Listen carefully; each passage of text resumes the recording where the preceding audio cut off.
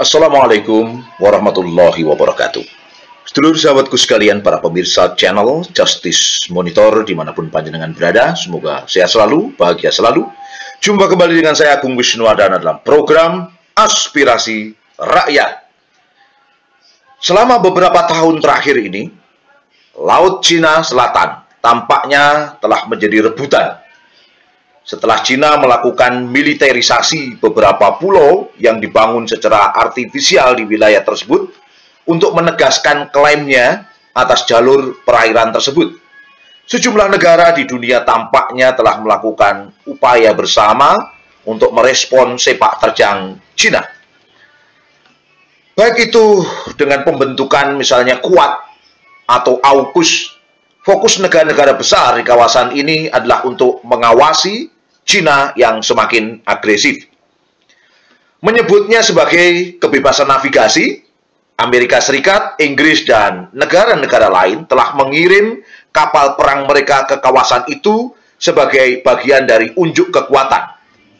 Kita tahu bahwa Cina mengklaim wilayah Laut Cina Selatan dengan Nine Dash Line dengan sembilan garis putus-putus yang dianggap sebagai bagian dari perairan milik dia sehingga banyak kawasan tempat tersebut, Laut Cina Selatan, diminta oleh Amerika Serikat, Inggris, dan juga negara-negara lain itu untuk menjadi wilayah yang bebas navigasi. Namun semua itu masih belum memberikan dampak signifikan pada sikap Cina. Proses-proses tekanan dari negara-negara besar tidak bisa memberikan dampak signifikan pada sikap Cina. Hal ini bisa dilihat dari pengiriman kapal perang mereka untuk menunjukkan hak berlayar melalui apa yang dianggap sebagai perairan internasional. Namun sekali lagi, semua itu justru membuat Beijing lebih agresif, membuat Cina semakin agresif. Lihat saja bagaimana Cina melakukan militerisasi di kawasan itu yang disinyalir juga mengerahkan rudal jelajah anti kapal, senjata anti pesawat, rudal permukaan ke udara, dan peralatan pengaco elektronik di pulau-pulau buatan yang disengketakan di Laut Cina Selatan. Selain itu, Cina juga telah membangun landasan terbang dan pelabuhan yang mampu menampung pesawat militer dan kapal perang. Penempatan rudal telah secara efektif menempatkan semua Laut Cina Selatan dalam jangkauan militer. Cina juga telah melakukan latihan militer di wilayah tersebut mereka telah melakukan segala upaya untuk melindungi pendudukannya atas pulau-pulau ini. Atas dasar inilah tak mengherankan jika Cina juga telah mengirimkan kapalnya ke daerah itu dalam jumlah yang besar untuk meneror angkatan laut lain atau menenggelamkan kapal penangkap ikan dari negara lain untuk mencegah mereka menjelajah ke daerah yang diklaimnya tersebut, Laut Cina Selatan dengan Nine Dash lainnya. Tindakan Cina di jalur pelayaran yang sibuk yang diperbutkan oleh beberapa negara telah membuat banyak negara merasa terancam kepentingan nasionalnya. Selain harus berhadapan dengan Amerika Serikat dan sekutunya, Cina ternyata juga telah berselisih dengan negara-negara ASEAN seperti Filipina, Vietnam, Malaysia, dan Brunei mengenai Laut Cina Selatan yang kaya sumber daya dalam pertikaian teritorial yang telah berkobar selama beberapa dekade. Lalu bagaimana dengan Laut Cina Timur? Melihat ancaman di kawasan, seperti dikutip oleh Reuters, Sabtu 17 Desember tahun 2022, Jepang kini meluncurkan pembangunan militer terbesar sejak Perang Dunia Kedua. Negeri matahari terbit itu menganggarkan 320 miliar US dollar atau sekitar 4.997 kuadritriliun kuadri kuadritriliun ya rupiah untuk kembali eh, membali rudal yang mampu menyerang Cina dan mempersiapkan diri untuk konflik berkelanjutan. Karena ketegangan regional dan invasi Rusia ke Ukraina memicu ketakutan akan perang. Ini menjadikan Jepang sebagai negara dengan pembelanjaan militer terbesar ketiga setelah Amerika Serikat dan Cina. Perdana Menteri Fumio Kishida yang menggambarkan Jepang dan rakyatnya berada pada titik balik dalam sejarah, mengatakan peningkatan anggaran itu adalah jawaban atas berbagai tantangan keamanan yang dihadapi akhir-akhir ini.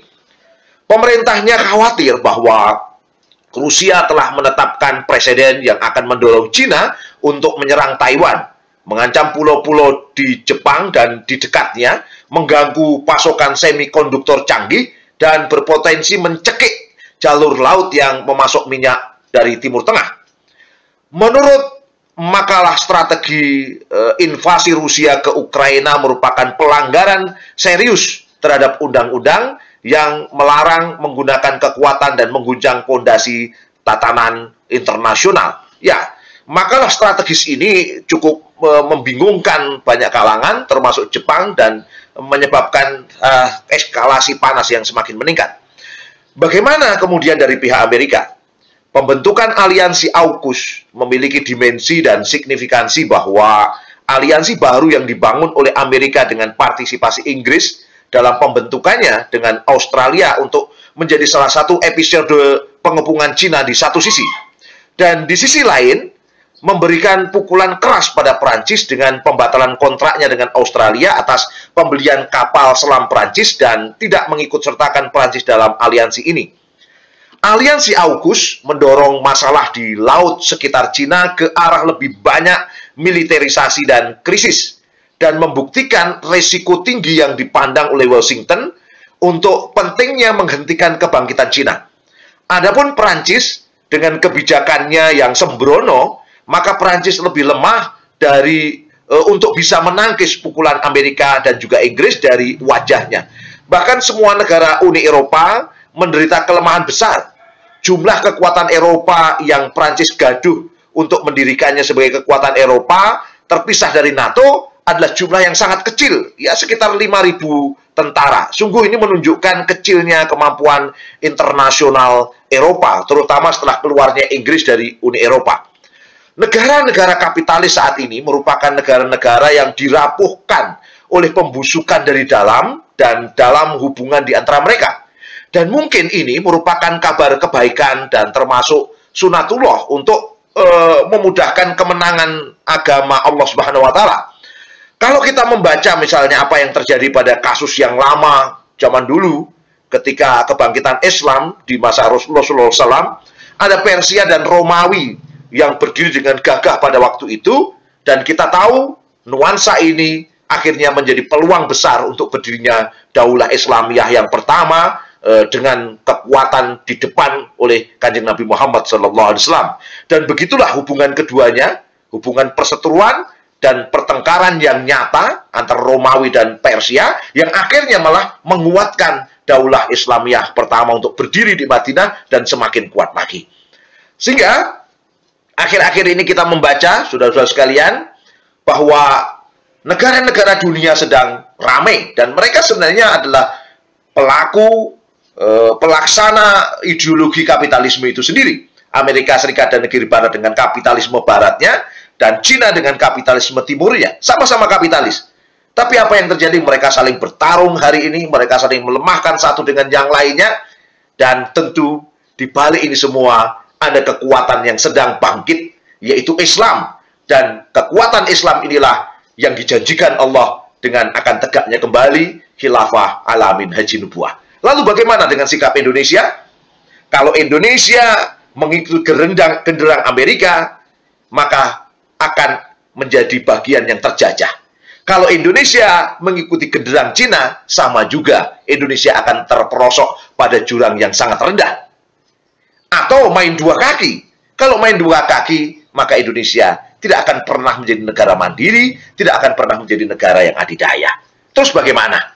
Indonesia akan besar apabila Indonesia membuat jalan sendiri, jalan yang diridhoi oleh Allah Subhanahu wa taala, yaitu Islam. Dan kita tahu mayoritas negeri ini beragama Islam dan tanah inilah tanah usriyah yang masuknya Islam dengan penuh damai dan waktunya Indonesia bangkit sebagai sebuah adidaya baru dengan kekuatan Islam. Demikian para pemirsa Justice Monitor di mana pun jenengan berada, membaca kawasan yang luar biasa ini dan membaca peluang di tengah pertarungan yang ada. Oke, sampai jumpa lagi di channel yang sama dan jangan lupa untuk subscribe like, dan klik tombol lonceng di bawah ini. Matur nuwun, sampai jumpa. Wassalamualaikum warahmatullahi wabarakatuh.